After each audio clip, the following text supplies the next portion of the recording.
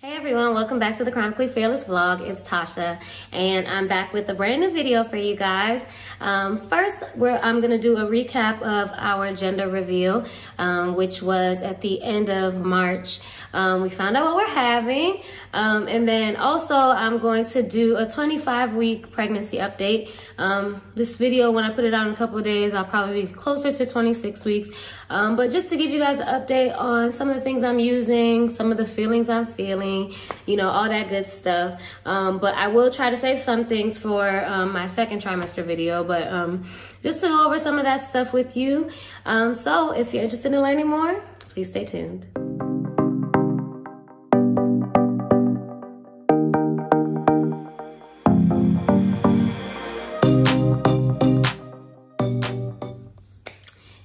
Guys, so um, thank you again for tuning in. Um, our gender reveal was at the end of March.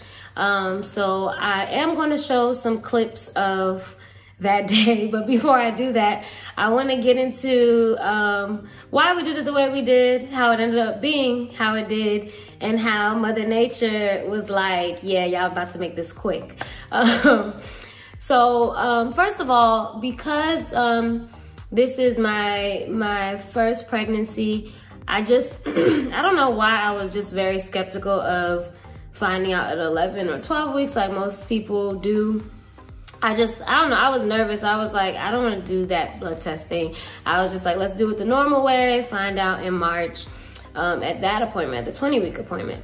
So um, we set the date for the 20 week appointment way in advance, but um, at the time we had a prior engagement that was going to be the weekend right after. So we said, you know, um, let's make it March 26th. Um, it'll probably be starting to warm up by then, you know, um, and we could just do it at the Capital Wheel. We live in the DMV area, so that's a popular place where people do gender reveals.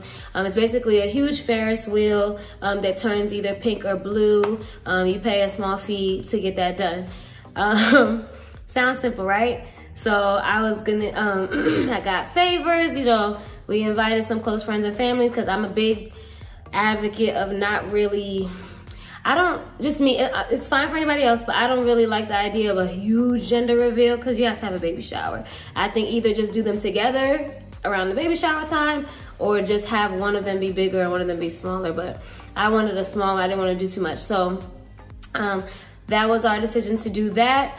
Um, I will say once it got to the week of the gender reveal, I started not going crazy, but I couldn't wait any longer. Like I just, I was tired of calling my baby it.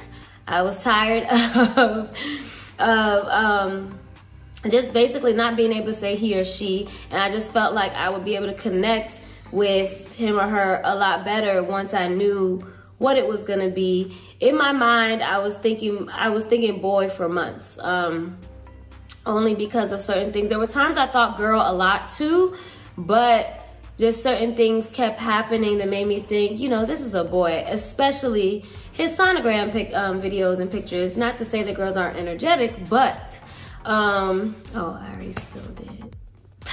I was trying to save it. Um, anyway, but because of the sonogram pictures um, and the way he's always flipping around, right now he's doing it actually, um, I was just like, this is a boy. It has to be a boy. Like, um, it's a boy. Um, but I didn't want to like disappoint myself if I started definitely saying it or telling people, oh yeah, I know it's a boy, I'm team boy, you know, and be wrong in the end. So I was just like, okay, because I would have been very happy with the girl too. Like I told you guys, I was up for anything. Um, but uh, let me just show you guys um, uh, the footage we could get and then explain a little bit.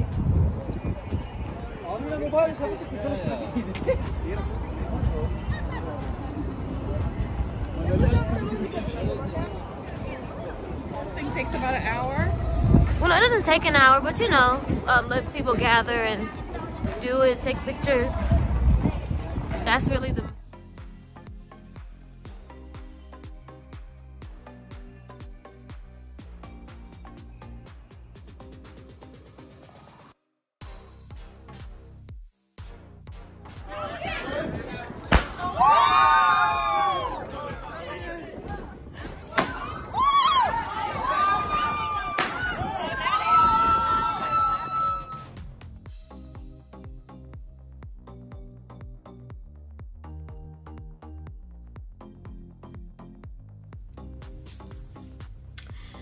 So um, the Thursday before our gender reveal, um, the contact at the Capital Wheel that I have been speaking with, you know, everything was confirmed, everything was good, called to tell me that there was a technical issue with the wheels. So basically, outside of the preset colors that the wheel had, they couldn't change the wheel colors on demand. Um, which meant that basically we weren't gonna have, you know, the big pink or blue happen. Um, and that she could give us some of our money back, but also give us a space on the dock to just, um, you know, gather. They would still put confetti cannons out for us and all that stuff. So, you know, just given um, a lot of, you know, how, how I was tired already, how we didn't want to have a big event again. I just said, you know what, let's just stick with it. It sounds like they're making accommodations for us, so let's just roll with the punches. Um, this day was also originally supposed to be 70 or 72 degrees. Um, that's when the forecast changed to, I think, 50 degrees or something like that. And we forgot that the Capital Wheel is by the water. So um, not only was it 50 degrees, but it felt more like 30 and there was a serious like wind and rainstorm happening that day. So I would like to thank everybody who still came out there in that kind of weather because it nearly blew me away. I think I brought I brought some like low heels to wear, never put them on. Um, we never even like really, I never sat sat down to like say, oh, everybody let's take pictures, let's do this. Like we took pictures afterwards because like the wind that hit us, like um, my hair, I usually, well, for the black girls that are watching, like I usually wear closures, but I say, you know, I'm gonna leave out. Wigs are giving me headaches um, since I'm pregnant and stuff like that. So all that, the one time I decided to get a leave out, that's when, you know, we're hit by a windstorm uh, right before the gender reveal. But anyway, everybody gathered very quickly and um, we popped the cannons. Oh, and we found out that the cannons they had, we thought they had big confetti cannons, were exactly like the ones that our sisters got off of Amazon. Uh, so yeah, but I just decided to leave it alone. um, but um, yeah, we did our gender reveal there by the water, and then some friends and family came over uh, to our place afterwards to celebrate. But um, Team Boy um, won. Um, this is a bouncing baby boy. And when I say he's literally bouncing, and I, I don't know, I feel like since I found out, my stomach seems to be like higher, like very soccer ballish, basketballish, uh, whatever you want to call it. Um, but now I feel like uh, now that I know what he is, I have a better idea of like his personality. Um, he, I feel like he responds to me because like if I'm talking a lot, because he already knows he has a loud mother, like um, yeah, we've crossed that bridge already. But um, like as soon as I talk, like sometimes that's when he'll start, it's like rolling or like punching me, but not in a, it doesn't hurt yet. Um, but yeah, he does a lot. Like I know when he's awake, I tell him good morning and everything. But um, I will say that I'm really, really, really happy to be and excited to be a boy mom. Um, I always said that, you know, I love little girls, you know, you want your mini me and all that stuff. But something in me was like, I don't want to have to focus on anybody else's hair right now. You know, um, that might be a lot. And number two, um, my nephews, you know, I have a lot of nephews. I have a lot of um, just little boys around around me, like family wise. So and they're so funny. There's, I don't know, little boys are like crack me up. So I just thought about how like funny or interesting he might be. Not that a girl wouldn't be, but me and the girl are gonna like vibe more like in different ways. But with a boy, I feel like he's just gonna make me laugh like a lot. So, um, and he already does sometimes from in here. Like we see, we get each other. Like um, it's to the point, um, even though I still have, what is it, probably about 15 weeks to go, um, sometimes when I, I, like, I really want him out so we can meet him, so I can kiss him and all that stuff. But at the same time, we've bonded so much. It's like, I also like it just being you and me. So, um, yeah, I'm wrapping my mind around that. But outside of that, I loved, I still, outside of the windstorm, outside of the wheel not working, I still loved um, our gender reveal and finally finding out um, I will say I'm never doing it again though. I'm never waiting um, 20 weeks. I'm gonna Uh, you know, I don't know if I'll just do one more after this, two more, but I'm definitely finding out at the first trimester screening. I'm, yeah, never again because it's also like I couldn't start putting everything I wanted on my registry. I couldn't do so many things just because I didn't know what it was. And because we had that delay, because we had other engagements, of uh, we had to put it off even further, it was just like, oh my God. So basically, I did not find out what I was having till I was 22 going on 23 weeks. Um, but um, yeah, I uh, we're having a boy. okay, so um, now I just wanted to give a brief um, 25 week update. Um, 25 weeks as of right now. Um, God willing, we're gonna get all the way to 40. So let's pray. But uh, he's doing basically everything the doctors are saying, everything my apps are saying, everything, just, you know, everything seems to be right on time. Like I remember this week, I looked up the fact that, you know, he might be opening his eyes soon. And if you put a flashlight, like, um, you know, wave a flashlight in front of your stomach, that baby might respond by kicking. And I did it twice yesterday and that's exactly what happened. Um, it just almost everything my apps say, I usually experience it that same week. Um, so he's right on time. My last doctor's appointment, they checked my, um, I think it's the fundal height, height, where they measure from your navel um, to where your stomach ends um, to see how fast you're growing. And um, yeah, I'm growing at the right pace. But the weird part is, and I think it might be because I was so stressed, um, you know, that month of our wedding and stuff like that, that I lost a lot of weight. Like sometimes there are certain wedding pictures I don't like to see because I'm already skinny, but I feel like I was bones, especially on the day of. Um, so I don't know if it's because I lost weight that it seems like, like when I actually go on the scale, like I haven't gained that much weight.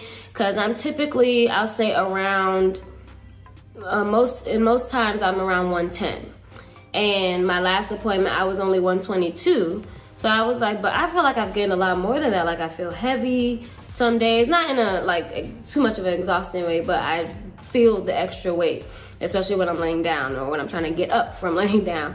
Um, so I thought it would be a little bit more for me being basically six months pregnant um, and my th um, third trimester starting basically in two weeks. So um, yeah, I was kind of surprised, but I guess it comes slowly, especially for a first child, especially for someone with like a small frame like me. Because technically I didn't really start showing until 16 weeks, basically a week before the first video was made, um, the reveal video. And then, um, yeah, in this last like week or two, my stomach has just like popped. But then I see people and then they're still like, oh, it just looks like you're full. Or, oh, you know, this is the smallest belly I've ever seen. It's so cute. So um, it's different for everybody. Um, one thing I'm definitely learning with pregnancy is that nobody has the same story at all. Like there are so many different things that happen, um, so many different, not and not just with symptoms, just the way it happens for everybody is crazy. Um, but I did want to talk about um, also in this 25th week um, and in this second trimester, two things that I now cannot live without. So first, um, we're gonna talk about my belly band and I actually think I need a new one. Um, like I said, my belly is popping out. Um, I don't think I have any pants that fit me anymore that aren't sweatpants or leggings. So, um, and it's just weird. Like I said, I'm small, so maternity clothes is not always the best option for me. I like I actually just purchased one of the first maternity dresses I ever got for a wedding I have to go to next week. But I like it's loose so I can't tell if it really fits me snug the way it should. But like, cause a lot of maternity clothes, I feel like I'm still too small for them. But other clothes, like I'm popping out, like I can't even zip it up. So um, what I have for pants is this belly band. Um, and this is just basically, I just pull, zip the pants up as much, as best as I can. I don't try to, you know, choke my stomach. And then I just put this on top.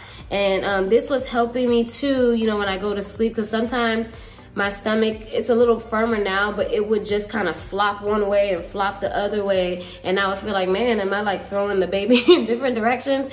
So this kind of like keeps everything in place. It was helping um, my back to feel better. Um, so this has been very good. I got this from Bump Boxes. Um, it came, um, it's one of my subscription boxes and I'm definitely gonna do a video about that um, soon. That's actually my next video um, to tell you guys about two subscription services that I've been using since I found out I was pregnant. Um, I've never really done subscription service, excuse me, subscription services because um, I'm just like, what if they send me stuff I don't want? But I will say for both of these places, they send me everything that I like. Like there's been certain stuff I haven't even had to buy um, just because everything comes in this box like these. But I might need to get a bigger size of these these soon. Um, just because, yeah, we're popping out. But then something that I got, I think we're going on a week and a half or two weeks that is now my best friend um, is um, my pregnancy pillow. At first, I didn't think I needed it um, because body pillows, I feel like you put them on the bed and they're just in the way all the time. But this has saved my back in the last couple weeks. It has saved like just me feeling like it was like me and the bed would be fighting um, all the time. Me and the bed are fighting. So um, basically, I got this pregnancy pillow. Okay, so this is my pregnancy pillow. It's like shaped like a C. And basically, um, basically you can sit in it like a little nest. Um, sit in it, sleep in it, read in it, do whatever you can, telework in it. And um, this pillow, because uh, basically, let me tell you guys what was happening at first. Um, I was, well, number one, waking, I'll show you a meme of how it looks when I'm trying to wake up to even get out of the bed to pee.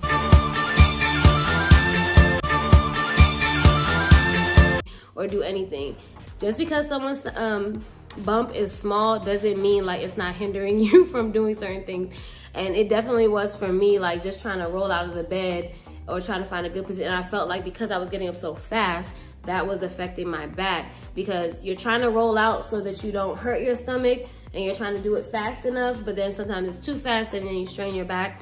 So um, this has helped me so much because it props my neck up, elevates my legs because what was also happening was I was getting random muscle spasms, uh, muscle spasms and leg cramps in my left leg for absolutely no reason. Like I would wake up in the middle of the night and my leg was on fire. So it elevates my leg because of the C shape, it elevates my legs, holds up my belly um, on either side, no matter which way I turn. And then it holds up my head enough. So, cause I don't think the pillows on our bed were giving me enough support either. So um, since then, when I say I have not, my back has not hurt, uh, nothing since I got this pillow. And this was on Amazon. I'm gonna include the link um, for this um, in the description bar. But it has been very good to me, this pillow. I hope it stays like that because, you know, they say second trimester is your most comfortable, but I feel like third trimester things are starting to happen to me. Either that or third trimester is just about to hit me like whoosh. So um, I hope it is still beneficial in the third trimester. Cause again, I only have like two, three more weeks of it. Um, so, um, and that's another thing I'm just, I'm just hoping it isn't unbearable because one thing that's happening now is I get so sleepy, like I can't even function now. Like it's to the point, like I'll, I'll be fine one minute and then like maybe it hits like nine o'clock and I think, oh, I'm up, I could watch Netflix, I could do this, I could do that, and I'm gone. And then I wake up and it's 6 a.m. Uh, so, cause again, I think I said in an old video, I was a night owl and I've changed completely. Now I wake up early naturally, but I go to sleep so early and I get mad at myself cause I'm like, but there's stuff I wanted to do. so, um, I'm getting used to that um, and just pregnancy overall, but I can say I'm still definitely enjoying it. Um, uh, my mom says my face is getting fat, but and some other people, but I still think it looks the same. Uh, I took a poll on Instagram the other day, and most people say it still looks the same.